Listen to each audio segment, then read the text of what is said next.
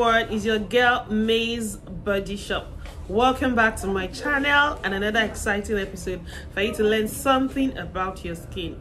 Yes if you are new or you're just passing by for the first time welcome to the family. Please click on that subscribe button down below and also turn on your notification bell so as to be notified whenever I post a new video. If you're an old subscriber, thank you for subscribing. Thank you for your love and encouragement. I truly appreciate and love you.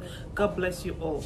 In today's video, I'm going to be sharing with you um, the best routine for a dry skin type. So if you have dry skin or probably your skin has always been the scaly or the very cracky type or the overly dry skin.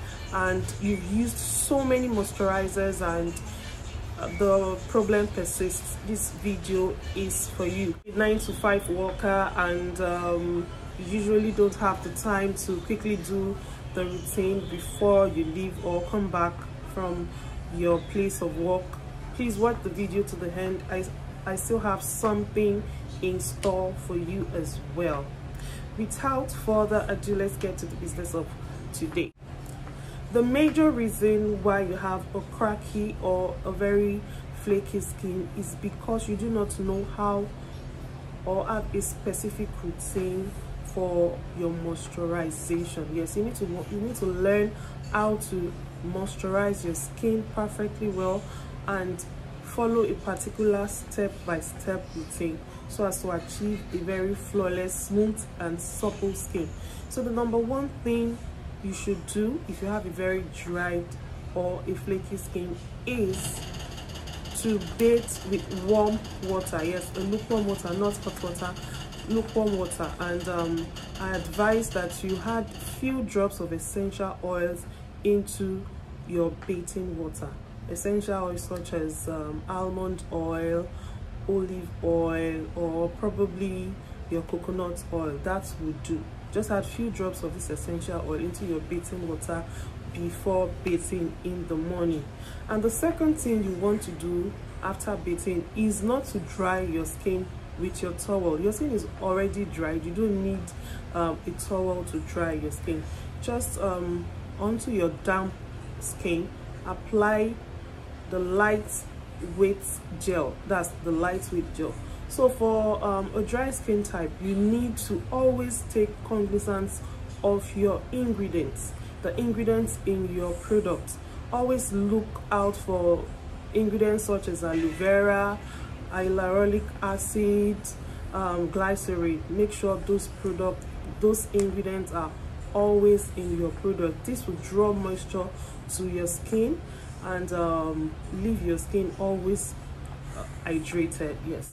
If you don't get any product that is packed with aloe vera you can get a already refined or processed aloe vera and um, add some amount of glycerin into this aloe vera and then apply on your skin. So these are the examples of your light weight gel so the number one thing you want to do is to bathe with lukewarm water and add your essential oils into the bathing water. And the number two thing you want to do is to apply the lightweight gels on your skin.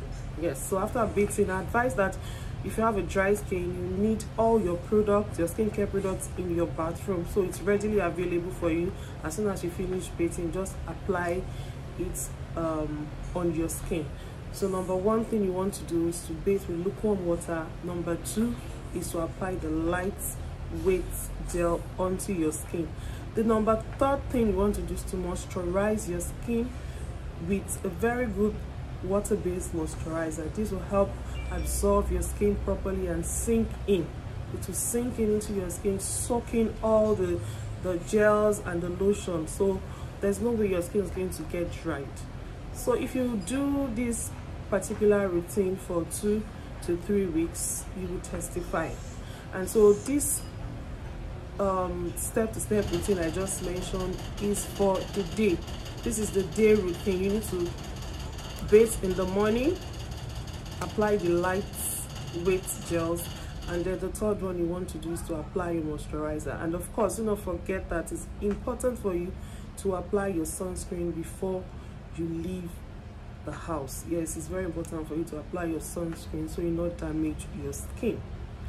And um, that takes us to the night routine. By the time you are through for your day-to-day -day activities and you get back home it's important to use your well moisturized body soap.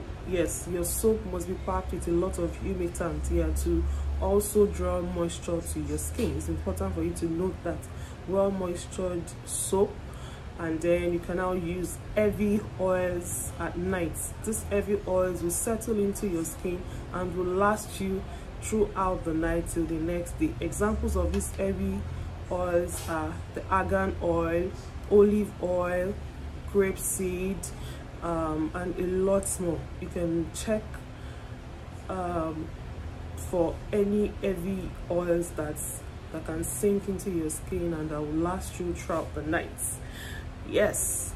And so for the second um, routine for the people that are always very busy that cannot go through a particular routine um, it's just you just need to do two things yeah? Just get your cinnamon and your honey. As you all know cinnamon is very good for blood circulation. It also takes out acne it makes you have a very clearer skin.